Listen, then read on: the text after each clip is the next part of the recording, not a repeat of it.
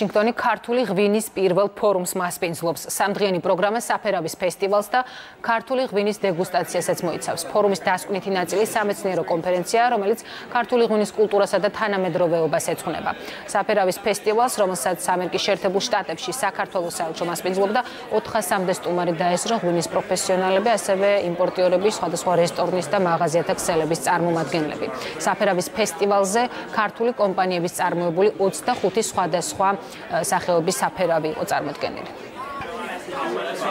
პრევოდელი ღონისძიებაც ამერიკის შეერთებული შტატების დედაქალაქში ვაშინგტონში ჩვენ საელჩოსთან ერთად დაიგებმა, რათა აქ ამ ქალაქში, ამ ქალაქში ცხოვრებ სხვადასხვა წარმომადგენლებს შორის, როგორც დიპლომატიური კორპუსის საერთაშორისო ორგანიზაციების თუ ადგილობრივი საზოგადოების წარმომადგენლებისთვის მოხდეს უფრო მეტად გაცნობა ჩვენი ღვინის.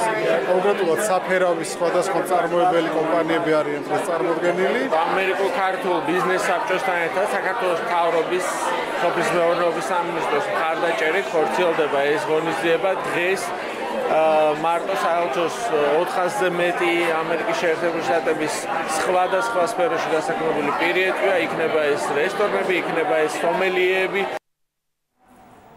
ჭუბერში მდინარე ნენსკრაზე ჰიდრომეტეოროლოგიური პარამეტრების მზომი მოწყობილობები უკვე მუშაობს. შედეგად წყლის დონის მატ